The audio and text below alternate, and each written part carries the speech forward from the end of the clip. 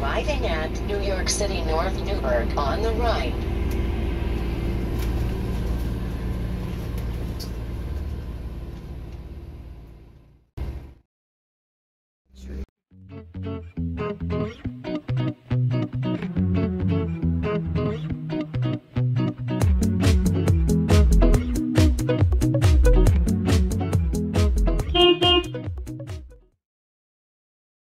have to give this New York City North KOA double kudos for making you feel like you're way away from the city.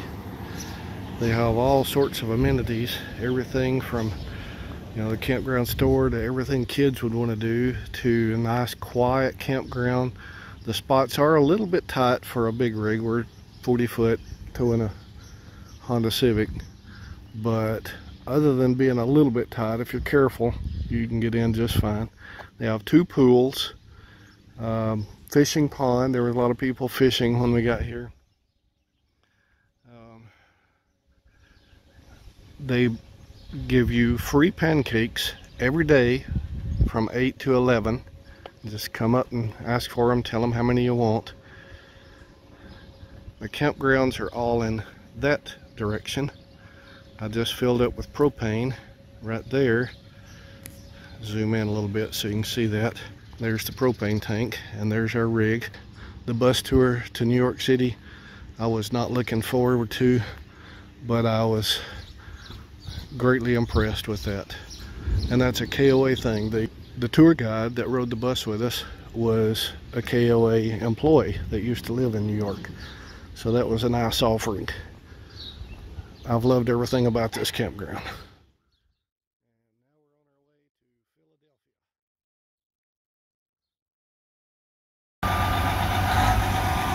Alright, the bus driver showed up about 10 minutes ago and everybody was eager to get on the bus and get their seat and let's get this show on the road. So it'll be a great day to be up at the 86th floor uh, observation deck of the Empire State Building. And then after that, we'll make a brief stop in Times Square on our way out for you guys to uh, take some photos.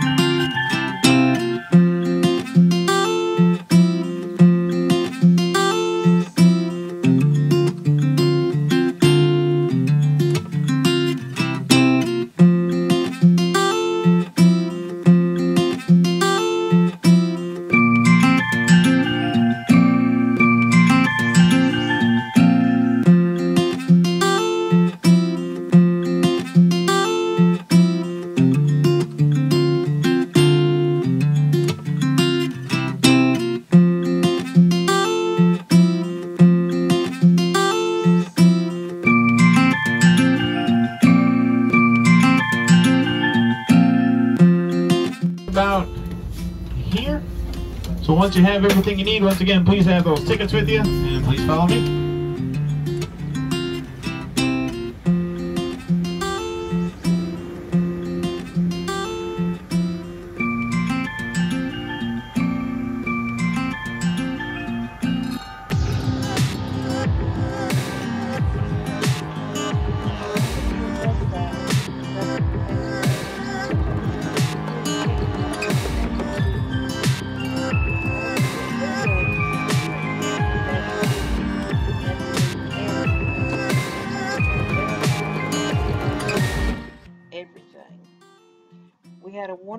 Tour guide also, and he had a yellow umbrella and he held it up in the air so we could find him so we never did get lost. You could just always see him holding it up. Once we got on the ferry, we found out that you could buy food, drinks, and there were nice restrooms on there. The ride over only took about 15 minutes, so it wasn't very long at all. There were boats that ran about every 15 minutes to New York Island and then Ellis Island and then back to the shore.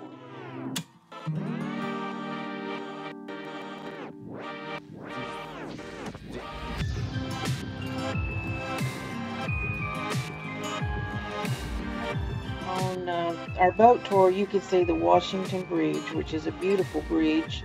You can see it in the distance. It's a double-decker suspension bridge and it spans the Hudson River. This used to be the longest spanning double-decker bridge in the world until 1937 when the Golden Gate Bridge was opened.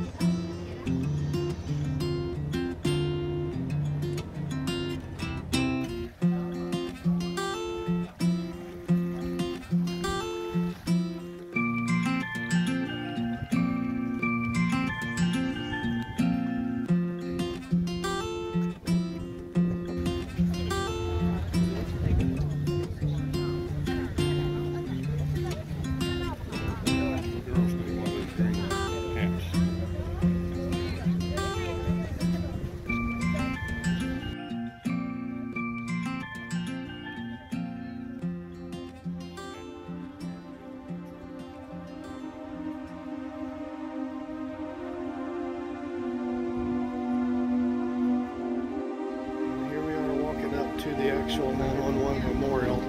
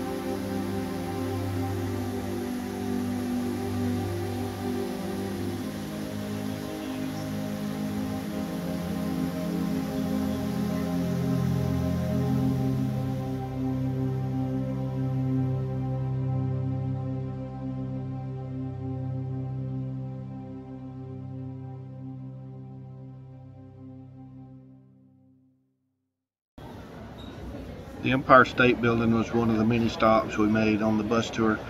We stayed about an hour and a half to get in, get up, and take photos, get back down, and get out to the bus. So it took about an hour and a half to do the tour of the Empire State Building, but I think it was really worth it. Some of the facts we found out while we were there the Empire State Building was constructed in a race to be the tallest building in the world. It was a means of supporting the uh, New York City area during the Depression, during and after. It helped insulate the uh, New York City economy from the Depression. It was completed in 1931 at a height of 1,250 feet. It remained the tallest building until the first World Trade Center was built in 1970. The building was finished in record time. Designing, planning, and the construction of the building took just 20 months, less than two years, from start to finish. In 1945, a B-25 bomber pilot became disoriented due to the fog in the area and crashed into the 78th and 79th floors. Firefighters had those flames put out in just 40 minutes and the undamaged portions of the building were reopened just two days later.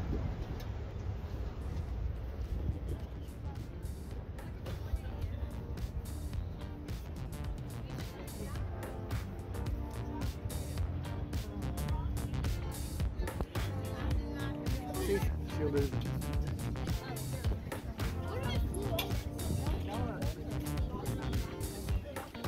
It can be lightened up.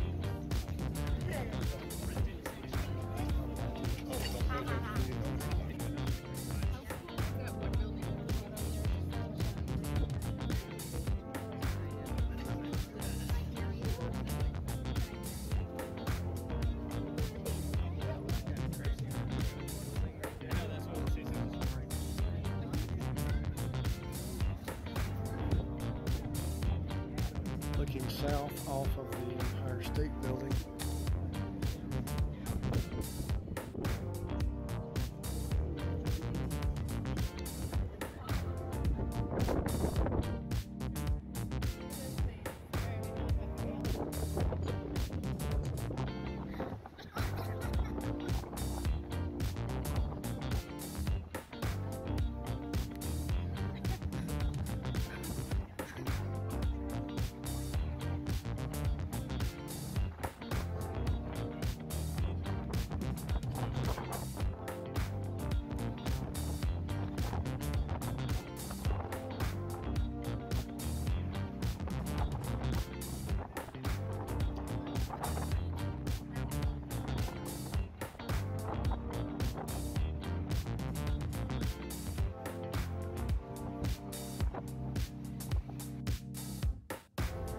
Look over to your left-hand side, you'll see Times Square Tower right here.